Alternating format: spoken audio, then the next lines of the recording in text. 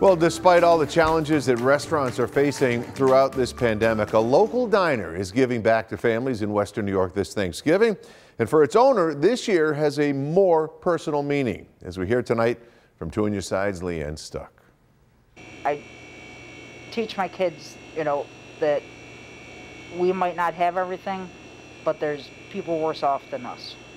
And we, if we can do something, we'll do it.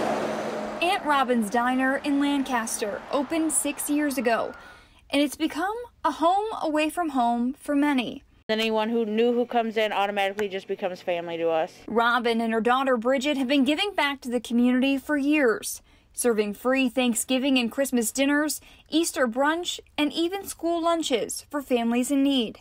We went through a time in life where we needed help, and we were able to get help from places like Haven House and stuff like that.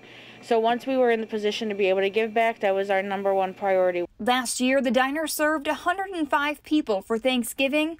This year, more. They're planning to serve 400. It's a full dinner. Whatever I make here is what I make for my family at home. So I don't, I don't skip. this while business is tough, as COVID restrictions only allow the diner to be open for takeout. This year, we didn't expect this, but I mean, we can't let the people down, you know.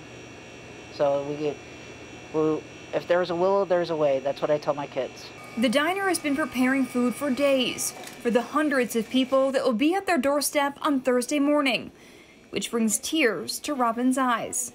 I've seen on Facebook like restaurants charging $18.95, $24.95 uh, to go dinner for Thanksgiving.